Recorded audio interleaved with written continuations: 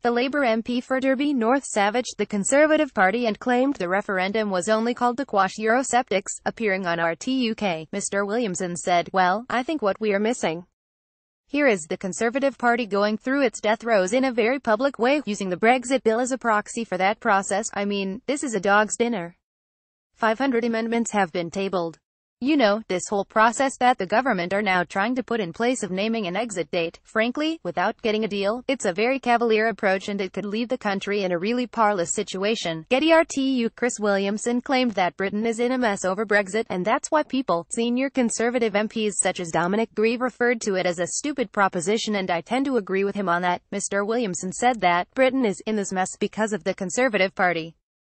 He said, the referendum was called in the first instance, not in the national interest but as a way of trying to quell the Eurosceptics inside the Conservative Party. Theresa May has fended off a series of amendments threatening to derail the EU Withdrawal Bill, which is made to transfer European Union laws into British laws, so that Britain will pledge to Brexit at 11 p.m. on March 29, 2019. Brexit Secretary David Davis announced that MPs will be offered a take it or leave it vote on a final Brexit deal. At least 15 Tory rebel MPs have announced their intentions to vote with Labour against enshrining an exit date into law.